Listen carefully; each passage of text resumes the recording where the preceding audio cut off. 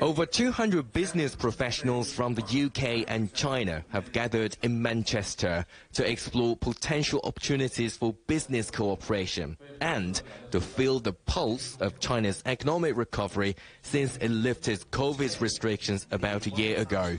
China's ambassador to the UK was keen to provide a positive counterbalance to recent negative reporting of his country's economy.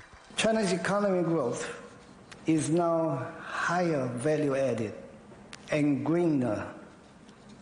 New energy vehicles, lithium batteries, and photovoltaic products. China's AI industry has become a new technological engine for its growth.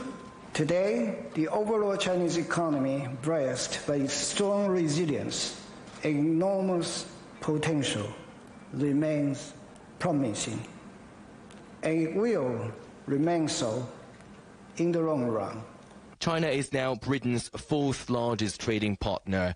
Annual two-way trade volume surpassed 135 billion US dollars by the end of the second quarter, an increase of 8.5 percent. Renewable energy is playing a major role and is a strong contender for broader cooperation going forward. I think the technical development um, for renewables in China is very important. We're seeing China emerge as a leader in a number of areas, and we all share one planet. And so for me, it's important to engage in what's going on. That was part of the reason why I was there recently, to build those relationships. And if there's an opportunity to, for Chinese companies to export their technologies in the renewable space.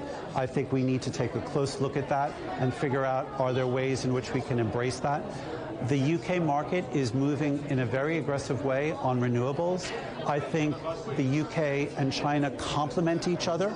British Prime Minister Rishi Sunak is on record as saying that the UK will not return to the close relationship seen under former Prime Minister David Cameron, who recently returned to government as Foreign Secretary. Clearly, we will not do anything that the UK government prohibits us from doing. It's, but we will work as hard as we can to build positive relationships, which we've had for a number of years. We were very proud to welcome President Xi here in 2018. And uh, we want to just try and build on the relationships that we've been creating through the Manchester Forum, Manchester China Forum for the last 10 years.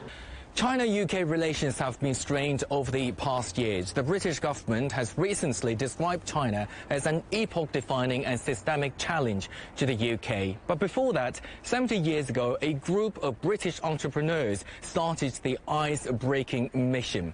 And today, business professionals are just doing the same, trying to mend the strained relationship by boosting trade ties.